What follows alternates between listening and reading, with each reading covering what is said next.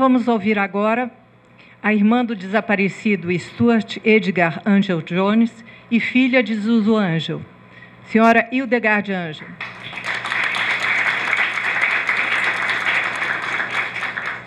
Eu não vou falar os cinco minutos porque é,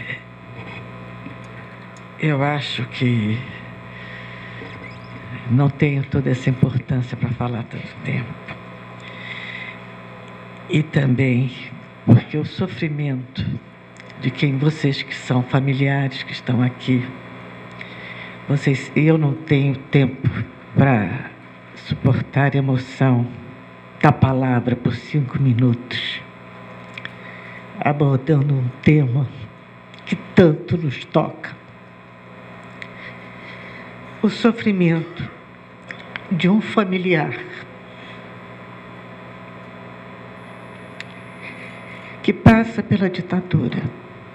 A ditadura passa, mas o sofrimento jamais passa. A ditadura não sai de nós. Ela sai do país, mas ela não nos deixa. Ela é uma fissura que jamais se fecha.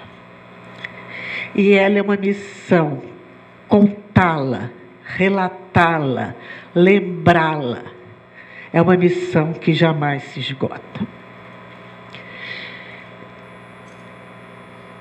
Esta Comissão Nacional da Verdade devia se chamar Comissão Nacional da Seriedade.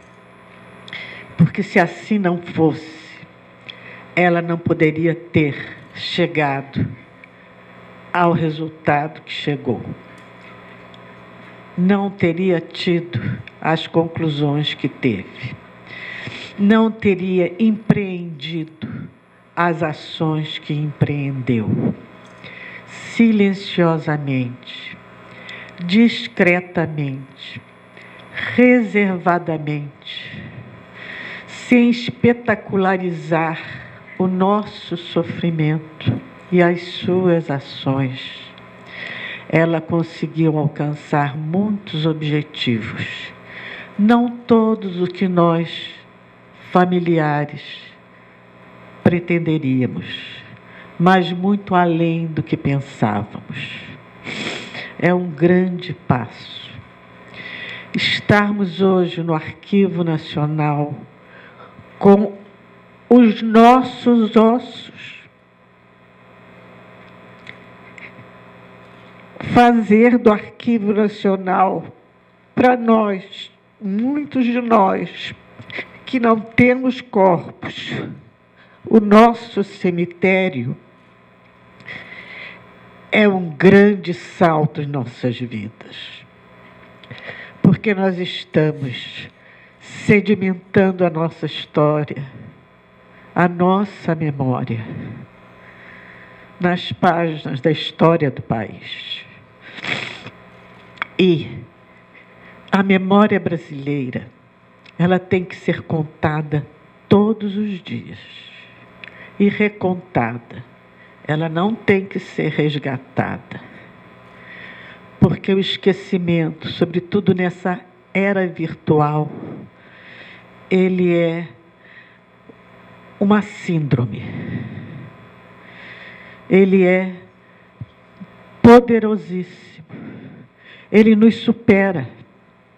Então, nós temos uma obrigação cotidiana de recontar esta história de refazer este tapete de crueldade, de refazer esse tapete de atrocidades e de recontá-lo para as novas gerações.